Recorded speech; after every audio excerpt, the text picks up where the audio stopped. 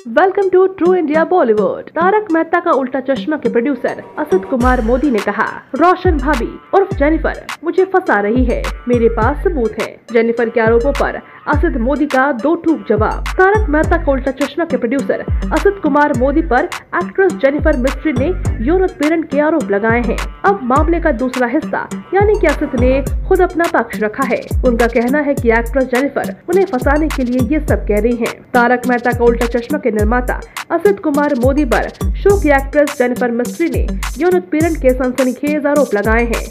Show में रोशन भाभी का किरदार निभाने वाली जेनिफर ने इस बाबत पुलिस में शिकायत दर्ज करवाई और प्रोड्यूसर को लेकर चौंकाने वाले दावे किए।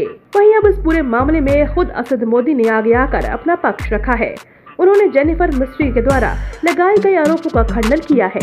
असद मोदी का कहना है कि जेनिफर उन्हें फंसाने की कोशिश कर रही है और उनके ऊपर लगे सारे आरोप बेबुनियाद हैं। असद मोदी ने यह भी कहा कि उनके पास सारे सबूत हैं और वो वक्त आने पर सब दिखाएँगे। एक इंटरव्यू के दौरान असद मोदी ने कहा, यह सिर्फ़ एक नकली और बेबुनियाद आरोप है। इनमें कोई सच्चाई नहीं है, वो सिर्फ़ मेरी छवि खराब करने की कोशिश कर रही हैं। यह मेरी वास्तविक प्रतिक्रिया है और मैं बहाने बनाने या कवर करने की कोशिश नहीं कर रहा हूँ। हर कोई जानता है कि मैं असल जीवन में कैसा हूँ। हमने उसे शो से और मेरी टीम से निकाल दिया। मेरे निर्देशक और टीम ने उसे शो छोड़ने के लिए कहा, इसलिए वह ऐसा कर रही है।